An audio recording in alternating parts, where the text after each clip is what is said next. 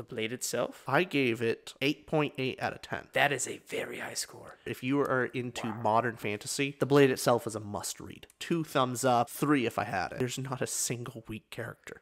Not one. I am deeply invested in every single character, even the ones that maybe only got two chapters. I literally, as I finished the book, I ran upstairs and I just looked at Austin and I threw the book on the ground. I was like, that's how you end a book, baby. You did, I you did. I was so jazzed.